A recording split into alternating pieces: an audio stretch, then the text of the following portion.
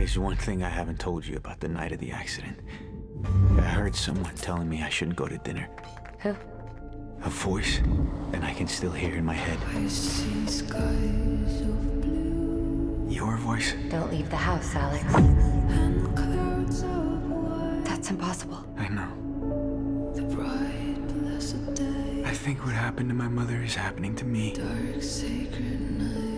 Said she could see what was going to happen. And I think to myself, Can you please tell me exactly what you saw the other night?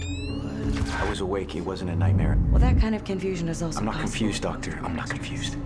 We're special Why? because of the instinct. I had another vision. I saw things that don't have an explanation. Nightmares can be a severe after effect from the stress. There's gonna be a storm tonight. It'll rain fish.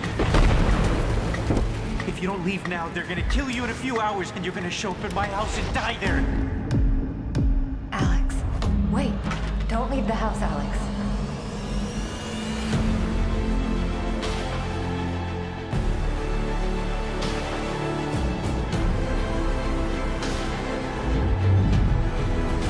I've lived this already.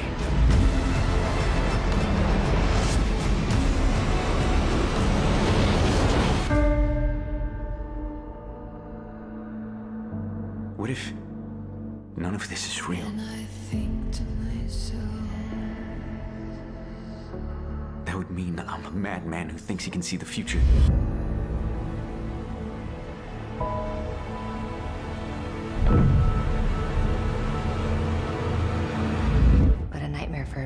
country.